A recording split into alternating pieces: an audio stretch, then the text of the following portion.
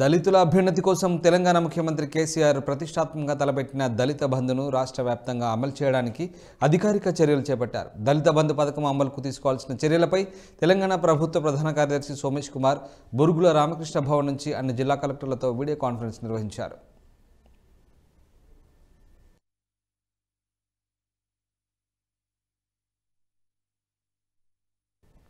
హుజూరాబాద్ ఉప ఎన్నికల సమయంలో దళిత బంధు పథకం అమలు ప్రతిపాదన అప్పట్లో పెద్ద చర్చకు దారితీసింది.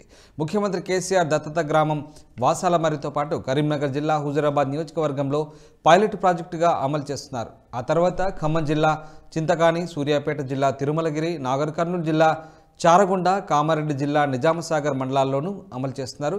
ఇప్పుడు తాజాగా అన్ని నియోజకవర్గాల్లోనూ దళిత బంధు పథకానికి లబ్ధిదారుల ఎంపిక చేపట్టాలని ఆదేశించారు.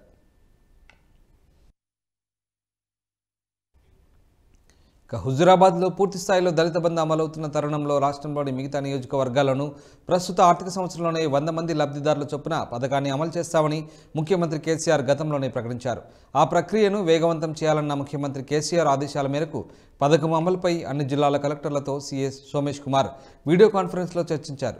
కరీంనగర్ కలెక్టరేట్ నుంచి ఎస్సీ అభివృద్ధి శాఖ మంత్రి కొప్పుల ఈశ్వర్ హైదరాబాద్ బీఆర్కే భవన్ నుంచి సీఎస్ సోమేష్ కుమార్ సమీక్షలో పాల్గొని దళిత బంధు అమలుకు సంబంధించి కలెక్టర్లకు ఆదేశాలు జారీ చేశారు.